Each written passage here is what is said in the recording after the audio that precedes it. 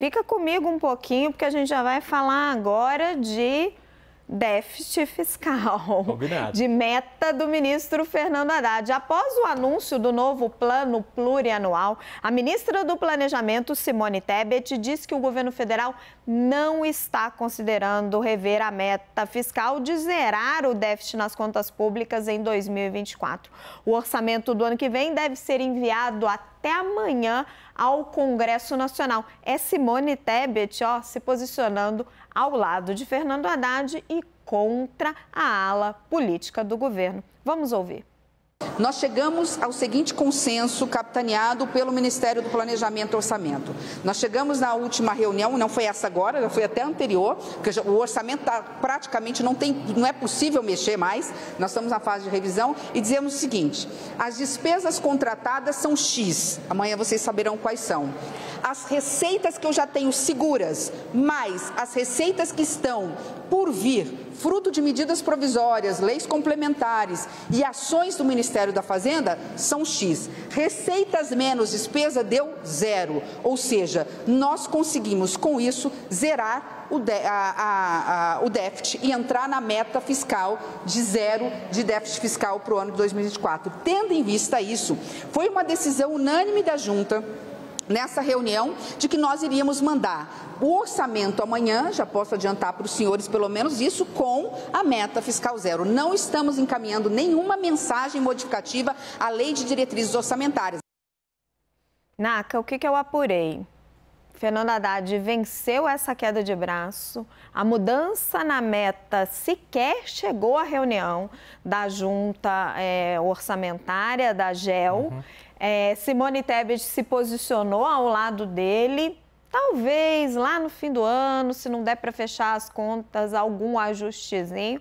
Mas a mensagem agora é vamos manter, nos manter aí prometendo o déficit fiscal zero. Agora eu te pergunto, é possível a conta fecha? A da Simone fechou planilha aceita tudo, né? Este é o problema. Os economistas, Raquel, estão muito céticos com relação ao cumprimento da meta do ano que vem. Acham que estes números é, de aumento da arrecadação possível com as medidas anunciadas pela equipe econômica são superestimados.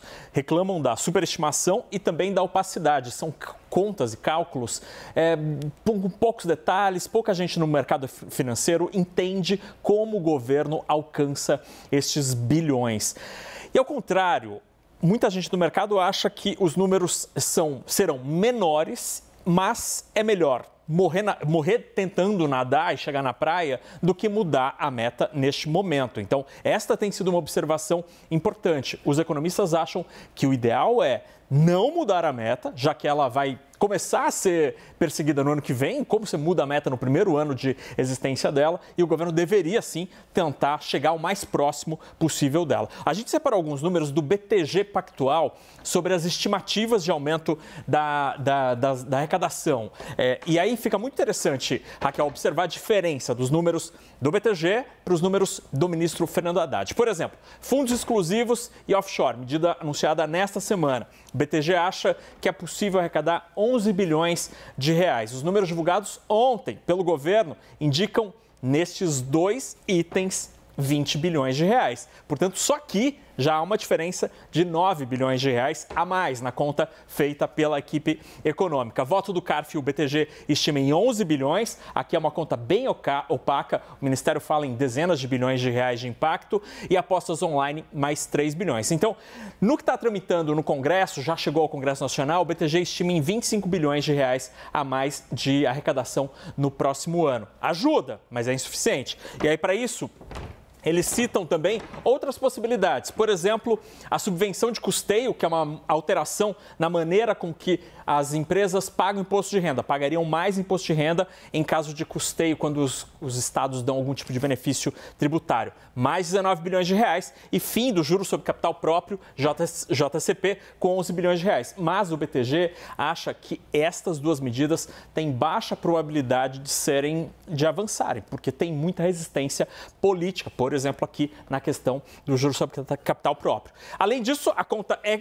concluída com mais 61 bilhões de medidas já anunciadas e já estão vigorando. Por exemplo, a reoneração dos combustíveis. Fábio Serrano, que é o economista do BTG que fez essas contas, ele acha que para o ano que vem vão ser necessários 130 bilhões de reais para que a meta fique na banda de baixo, porque a meta do ano que vem é zero, mas tem uma margem de 0,25 para baixo. Então, entregando um déficit de 0,25 ponto do PIB, tá ok, tá cumprindo a meta. Então seriam necessários 130 bilhões de reais. Mas aqui tudo, inclusive com isso daqui, que é de difícil possibilidade, temos 116 bilhões de reais, bem menos do que o mínimo para conseguir chegar à meta. Por isso, ele prevê grandes contingenciamentos no ano que vem. Cita, por exemplo, o espaço para 60 bilhões de contingenciamento no começo do ano que vem, o que, obviamente, para o mundo político, cortar 60 bilhões, Raquel, seria absolutamente nefasto no ano eleitoral. Por isso, tanta pressão para mudar a meta.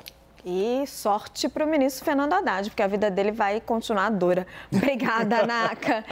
E vamos agora continuar falando desse assunto, mas agora com Yuri Pita, porque as metas econômicas e ambientais vão ser prioridade no plano plurianual do governo, do governo Lula. Conta para nós, Yuri. Oi, Raquel. É, para a gente explicar do começo, o Plano Plurianual, PPA, é uma obrigação constitucional que todo o governo tem que enviar no primeiro ano de mandato e é isso que é, o Ministério do Planejamento e Orçamento e a Secretaria-Geral da Presidência trabalharam neste ano. E, ao fazer isso, fizeram uma série de rodadas nos 27 estados, né, 27 unidades federativas, chegou neste plano que vai ser entregue, foi entregue ao Congresso hoje.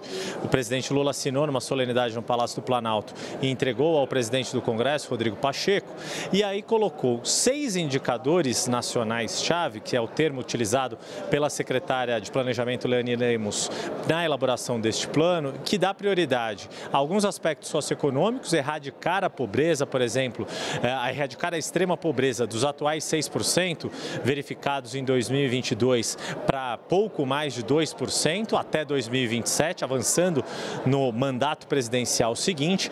Também há uma, uma série de cálculos cálculos em relação a quanto ganham os 10% mais ricos, que hoje ganham 3,5, 3,6 vezes mais do que os 40% mais pobres, tentar reduzir esse índice e há dois índices relacionados às questões ambientais. É, tem a questão da redução dos, da emissão de gases de efeito estufa em cerca de 20% e a redução do desmatamento na, na Amazônia. Tudo isso para mostrar que essa área social e a área ambiental ganharam prioridade prioridade no, no planejamento deste ano.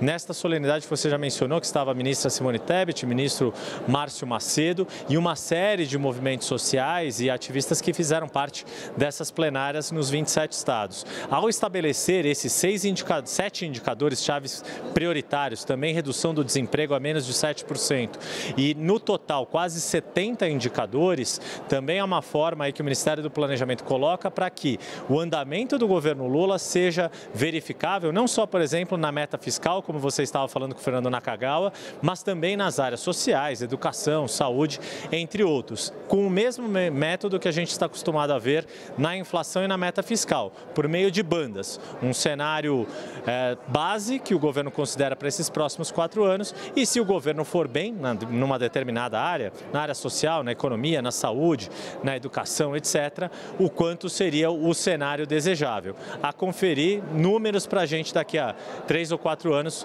conseguir checar se o governo avançou ou não como ele planejava. Obrigada pela apuração, Yuri.